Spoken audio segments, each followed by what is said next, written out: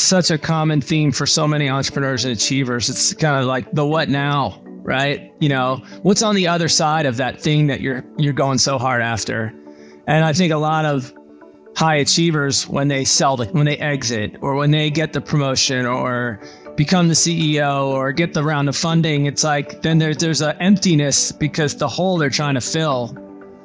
There's nothing that there's no goal line or thing that's going to fill that hole. That has to come from within, right? And this is not something that I like intuitively knew. It took a lot of work for me to get to a point where I could really rewire my my my you know my neural pathways could fire a little differently so that I understood like it's all about the journey and the process and loving that and, and architecting that process so that you're doing the things that feel good that align with your values your lifestyle the way you want to live right now and and the outcomes will take care of themselves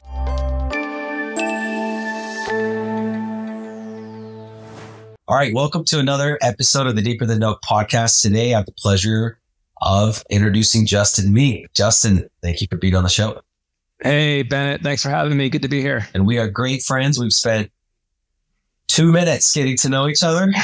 yes, we go way back, at least 120 seconds. I know that Justin is out of Dallas and he knows I'm out of Salt Lake. So, um, anyways, I'm excited to, to get to know you a little bit more, Justin. Can we start with a quick background of uh, who you are? Yeah, my name's Justin Mink. I am an entrepreneurial operating system implementer. I'm a franchisee of EOS. For those of you familiar with the book Traction or EOS, gains a lot of popularity within the franchise community over the last several years. I've spent my career as an entrepreneur, founding companies and leadership roles at startups, and then working on the agency side with franchises. So I ran uh, I ran our franchise division at a couple pretty big digital marketing agencies. That's how I got deeply involved and entrenched and generated so many relationships and friendships within the franchise community. Yeah, I was just looking up the our mutual friends. It was just all franchise people. I know, I know. It's you know, like it's it's a real family, man. Yep. It's, yep. That's that's that's uh, that's part of the fun of it. So, what did you get involved with uh, with EOS? Well, I I ran EOS, and when I left a big agency uh, called Scorpion, I joined a startup and uh, you know, on, on my entrepreneurial journey, uh, lots of highs and lows. And as far as the highs are, it's the lows that you know that give you the lessons that you can take with you, um, the powerful lessons. So, I started up a company in Dallas about ten years ago. It's a great, great journey. We raised a bunch of money. Today, that company has over 100 employees and is thriving 10 years later. But I got really sick while I was doing that. I ended up um, getting mono or Epstein Barr virus. Um, oh. Brutal, right? For an adult, uh, it's kind of a kid thing, but when you're an adult working 80 hours, I mean, part of the reason I got sick was because I was working 80 hour weeks and so stressed out. Ruins your immune system. The, the stress. Yeah, I was engaged to be married. I mean, I was just, I was just, just both ends of the candle were completely burned to the nub, and so I got sick. And and at the time, I thought I was done being an entrepreneur because I just didn't have it anymore. I thought it was synonymous with chaos and stress and sacrificing your health and relationships and time for any other passions or interests in your life. So I took a step back from entrepreneurship, got back into enterprise sales with a digital agency, leading another franchise team, not a franchise team, but a team of folks working with franchises as our clients. And then I read the book Traction. Uh, actually, a franchise friend of mine handed it to me and it was inspiring. I was kind of ticked off because I would I, I had I had uh, there were answers to questions I didn't think had answers. You know, it didn't have to be so stressful and so chaotic. Um, but I was more inspired to get back into an entrepreneurial venture. So I joined a little startup agency under the condition that we run the business on EOS. And uh, CEO became a fan after I mailed him a copy of the book. And it was a transformative experience. Our revenue velocity doubled over the course of about a six month period where it took us to really weave EOS into the fabric of the business. And so, and also we made work life balance a, a, company value and capped everyone's hours a week at 40. Awesome. And this is a guy, the CEO, who's also on that 80 hour grind. Um, and, and was down to working 40 hour weeks while the company doubled in, in revenue. So for me, that was just a transformative experience. I found out EOS was a franchise. So I had the opportunity to become a franchisee. And, and for me, it was kind of like, you know, fait accompli, like the universe telling me that I needed to go help other entrepreneurs, you know, uh, do this. You capped your employees at working 40 hours. What did that do for employee well being and retention? Employee engagement just shot up through the roof. You know, we, we, in large part, EOS, a lot of companies that use EOS are thinking about it from a smarter standpoint. How do we get more strategic and better communication and process and efficiency. But there's also a massive component of creating healthy, you know, dynamic, great culture, cohesive teams that work well together and, you know, lack of ego in politics. And so that company's engagement went through the roof and it's landed on best places to work lists over the last several years, uh, Inc. 5000, you know, acknowledgement. So it, it, it did wonders for employee engagement. That's awesome. And, and let me try to summarize. I don't know a ton about EOS. Um, it's a management style, uh, similar vocabulary as far as how meetings should be ran, uh, terminology. What are what are the rocks, the issues? Uh, so it's, it's, really bringing in everything so everybody can speak the same language, um, set the same types of goals with the same types of um, accountability. Is is that a decent summary? How would you summarize it? Yeah, I mean, for someone who doesn't know a lot about it, you just you you you you encapsulated it pretty pretty elegantly there. I mean, to implement it. That's why. I mean, yeah, yeah. I mean, it's a simple set of practical tools. You know, that's it. Um, and designed to get everyone aligned on where the company's going and how how you're going to get there together, creating that cohesive, compelling vision, creating traction so that there's discipline and accountability. Everyone's rowing in the same direction. All the human energy in the company's harnessed, so everyone's marching forward lockstep together towards the achievement of the vision and creating healthy teams. Like I said before, where there's just, you know, how do we get better together and no blame and no ego and and just open and honest, and vulnerable teams. So it's and it's just a simple set of tools that, like you said, that provides context and language for everyone to work within those guidelines and, and that framework. Yeah, I have a good buddy that's an implementer, and I really oh, cool. wanted to start implementing EOS. So it was last December, so 13 months ago. I had him come and he did like a presentation and we have our franchise company, but we also have our food manufacturing company that also uses their own, uh, I mean, it's a completely separate, uh, company and inventory management system. And anyways, and then we also have the logistics side and then we run corporate stores. And I'm like, I need something to bring everything together. Fortunately, didn't happen at that time. We just brought on a new CEO and management group. Um, and I just started talking to him about it.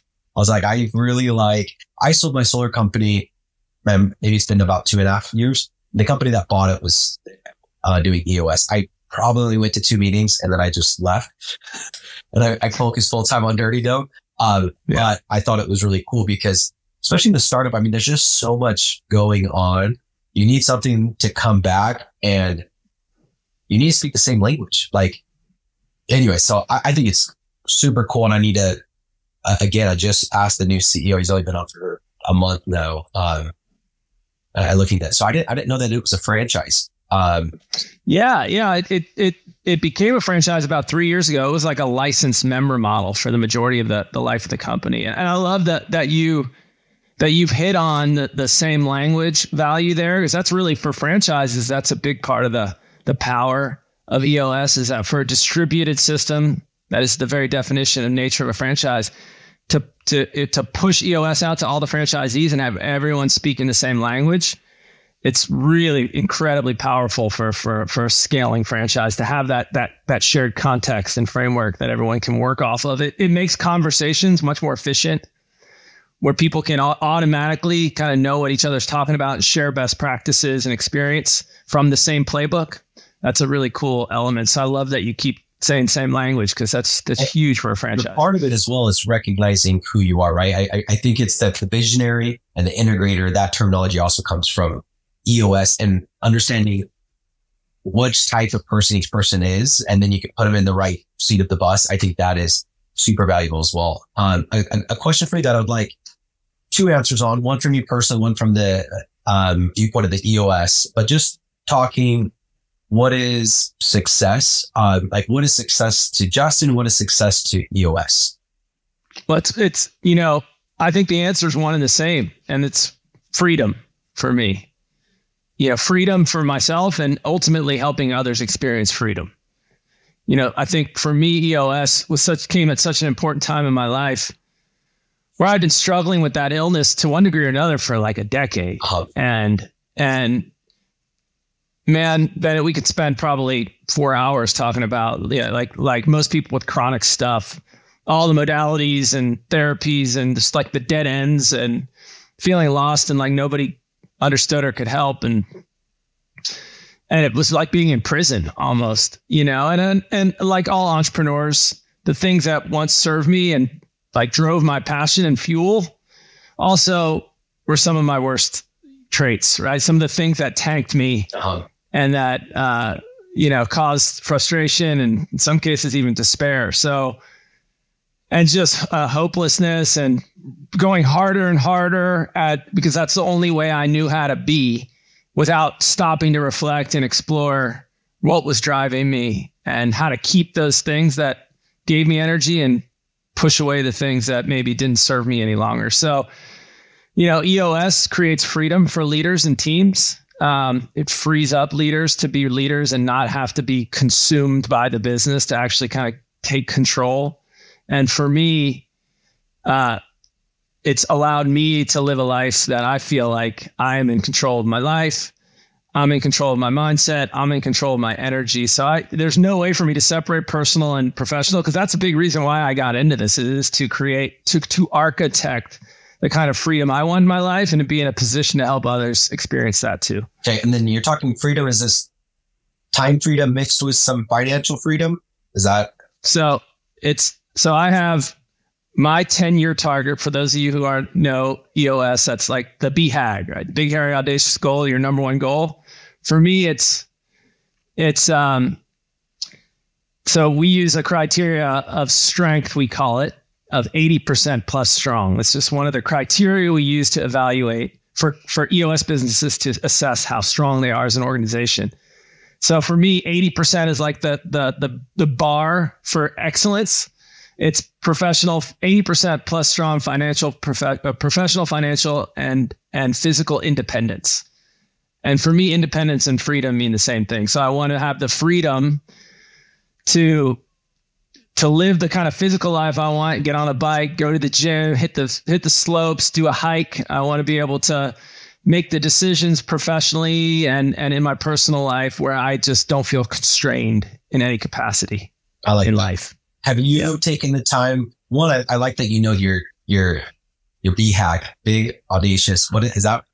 Big hairy audacious big goal. Hairy, yeah, cool. okay. Jim Collins, good to great. That, yeah, you, that you've taken the time to do that, and I don't think most people have. Have you taken your time to even go? Okay, like once I achieve my goal, what does that life look look like? I, I remember I did that with one of the Tony Robbins books forever ago, uh, which which was amazing, and, and I I do think that most people we don't set any goals. And then the few goals we set, it's kind of, okay, I'm going to hit, hit, this goal. And then even if I hit perfect time freedom, what does my life look like at that point? And, and really what I'm getting at before I let you answer is there's a, there's a, a story. I don't know. I've heard it a, a thousand different ways, but some businessman goes to Cabo and he goes fishing. You know, you so you're nodding your head, you know the story.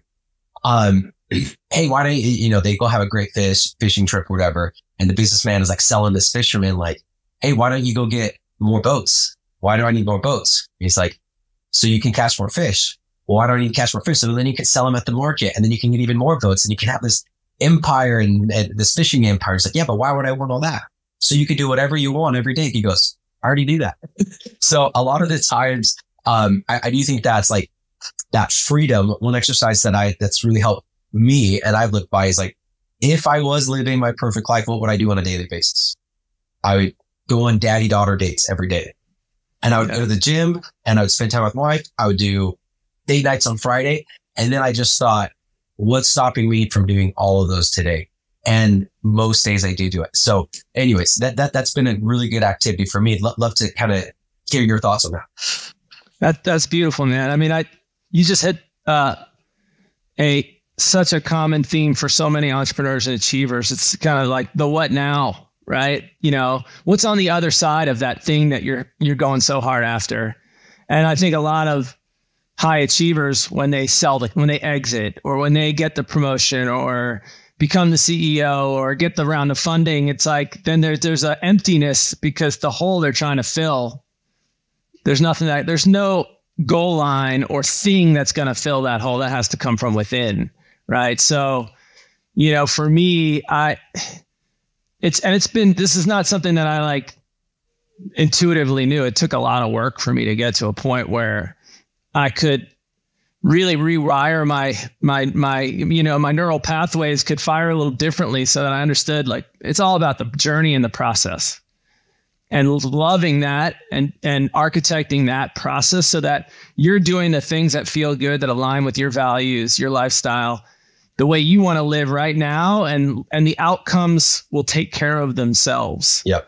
So i'm not a goal i'm it sounds kind of weird to say it personally i do have my goals and i my i have a family vision traction organizer my wife and i have put together the vision of our family within kind of an eos framework but I'm more concerned with how I live my life day to day, putting doing the right things and knowing that on the other side of that is going to come all the good stuff. Yeah. Right. But at the same time, you can have a lot of the the skiing trips. I mean, you can. Uh, I, I we'll dive into the health a little bit more, but assuming you're healthy, um, you can you can start doing skiing trips, you know, a few times a year or whenever you want, and, and that's where I like.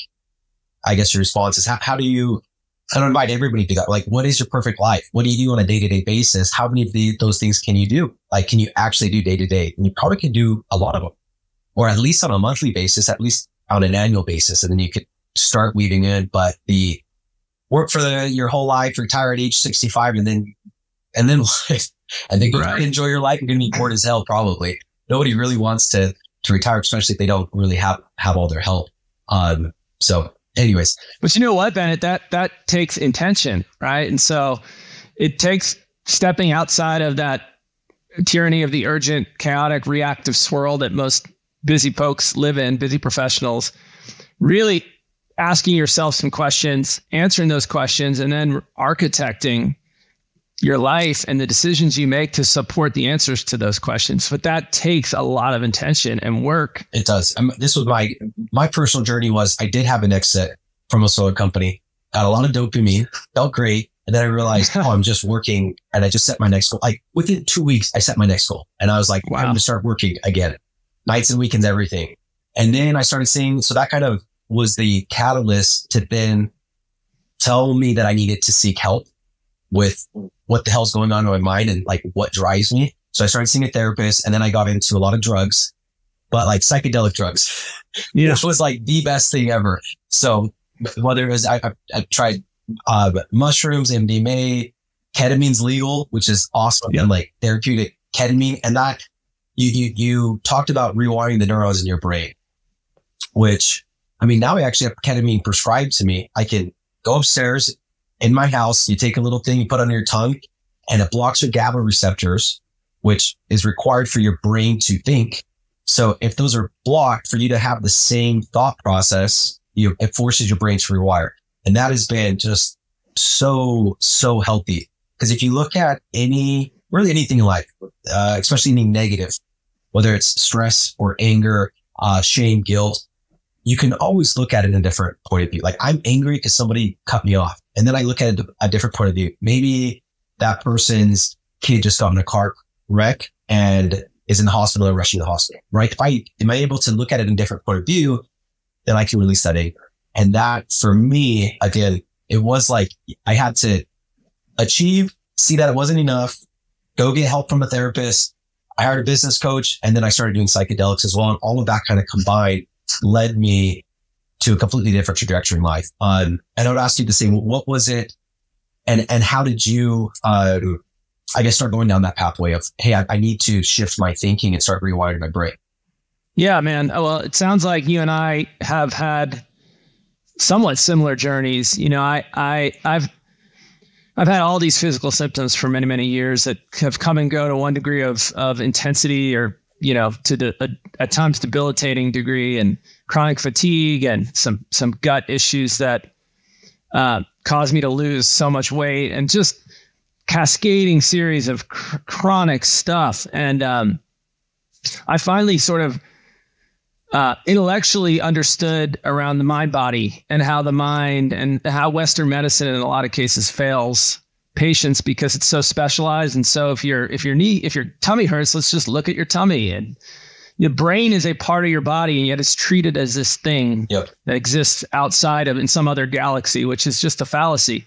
But all of our Western medicine is is essentially stacked against that mind body uh, modality. So I started going down that path, exploring EMDR therapy, um, which brought up a lot, brought up a well of depression and anxiety. And for me, ketamine was a huge catalyst. You know, the first time I got a ketamine infusion, Mhm.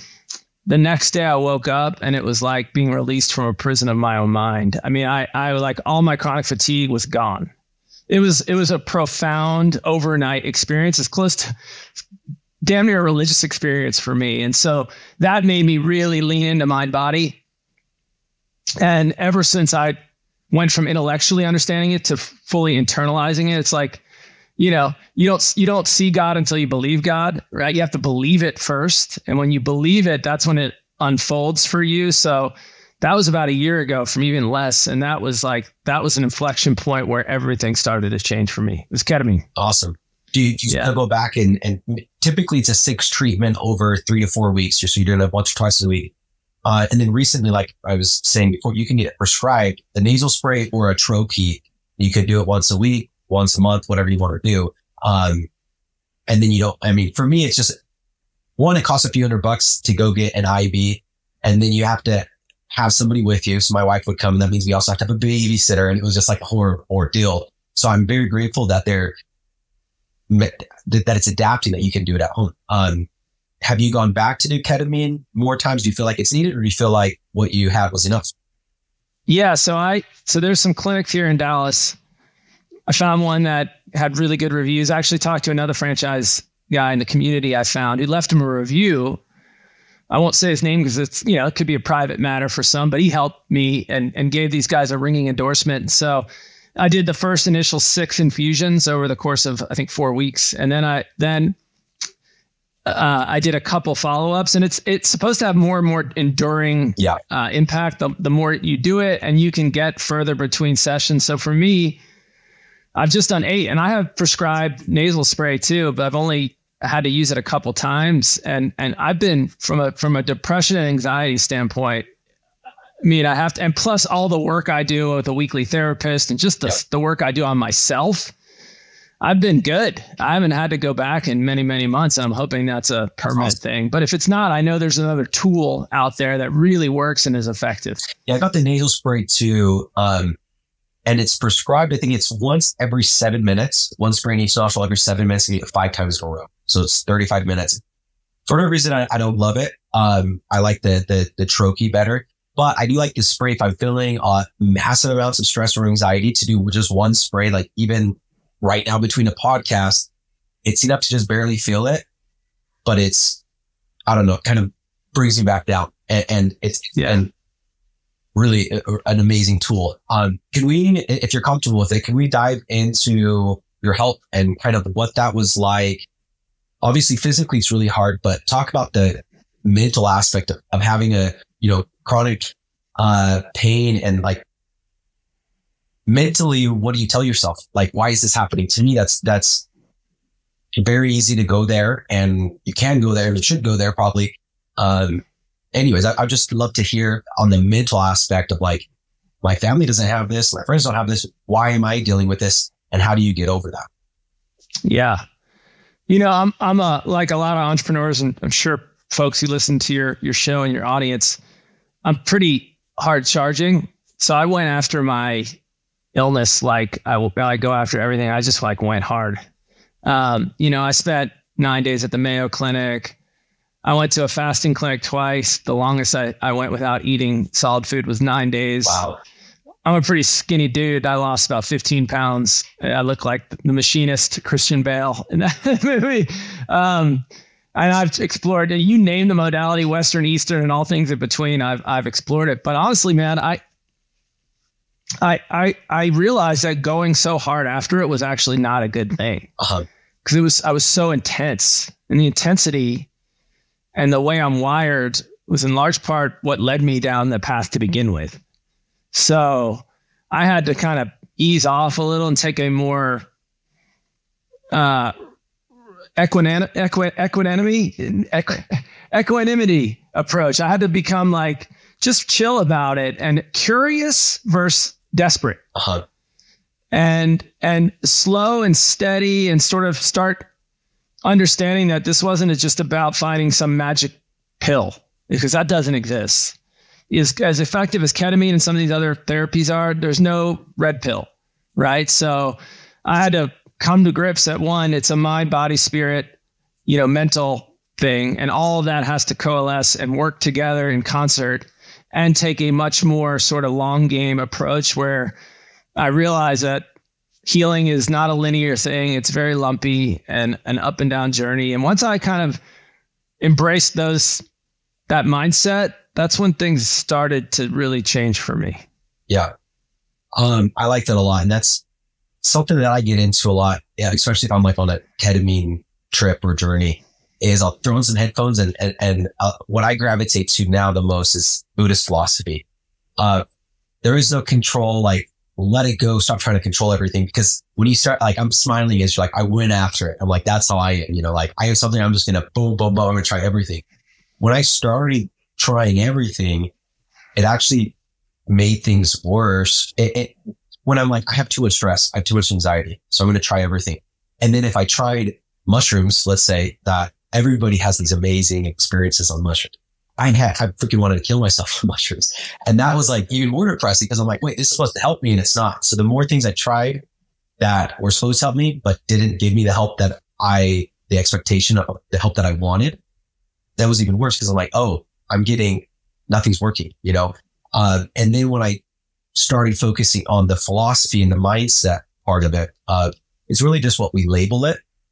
Um, and we can label it anxiety, we can label it stress, but well, how about we stop labeling stress bad and anxiety bad? It's just, it is what it is, right? There's there, and that's kind of what I've learned from the, the Buddhist YouTube videos that I listen to is it's just experience. It's just experience and everything is perspective.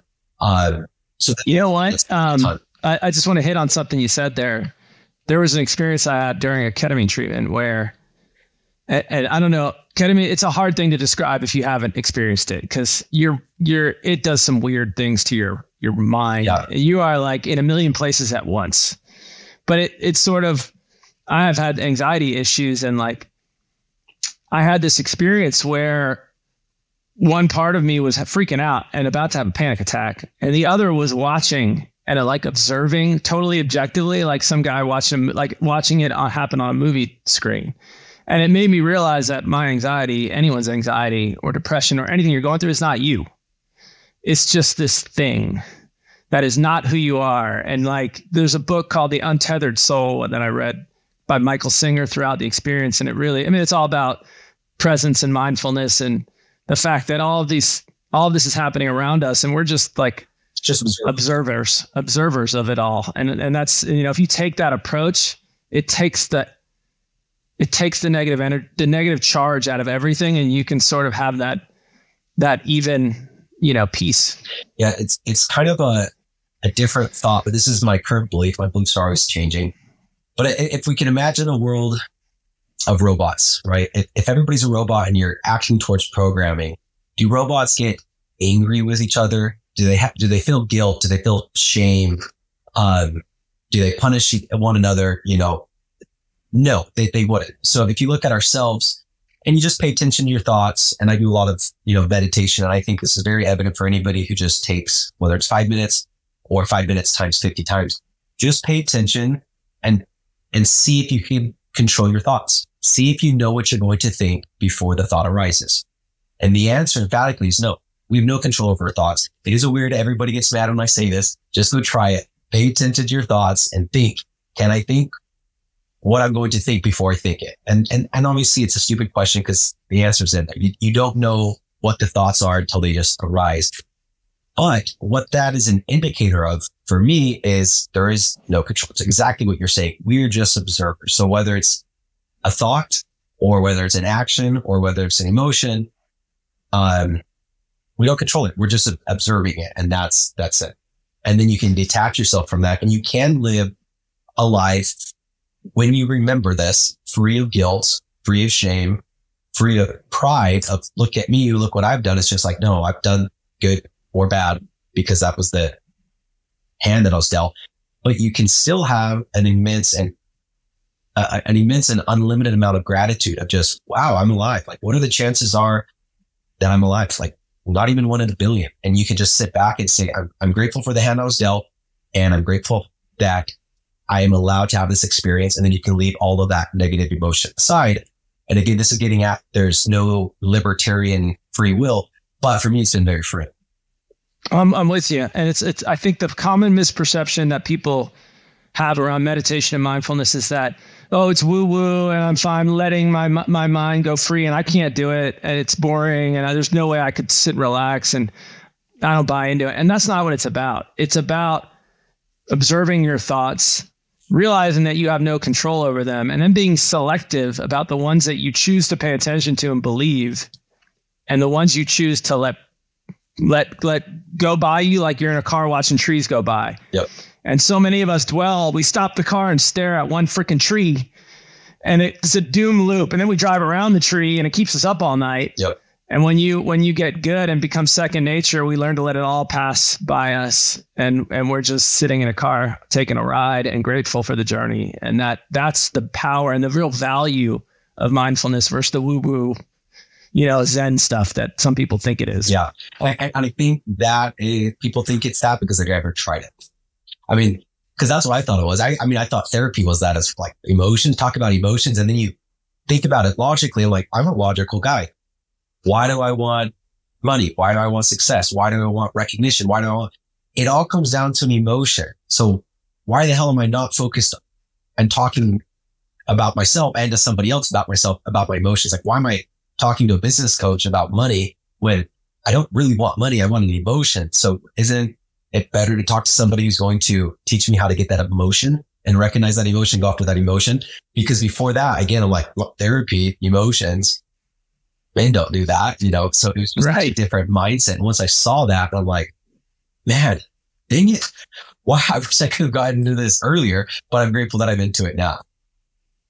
Uh, yeah. Yeah. I mean, we all have these like most people, and, and I include myself among them, is there's a great line from from the untethered soul that always stuck with me, and that that we've got these thorns stuck in us, and most people live their lives uh, with this elaborate architecture to keep that thorn from being touched. So you know you'll create this whole sleeping mechanism so that you can sleep, so that the thorn doesn't get pushed on. And you know if you go on a walk, you'll clear everything around so that the thorn doesn't get touched. And meanwhile, just like you said, dealing with your emotions is like taking the thorn and removing it from your body, right? It hurts when you tear it out, but then it's gone, it's processed.